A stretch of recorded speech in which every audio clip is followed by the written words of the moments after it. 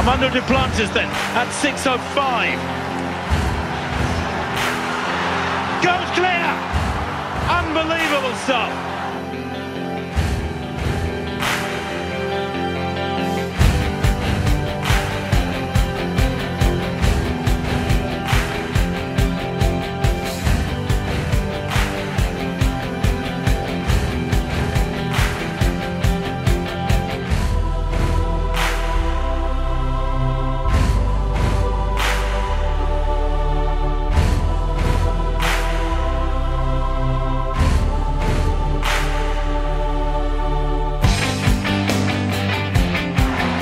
Wondering what more has this kid got in the tank.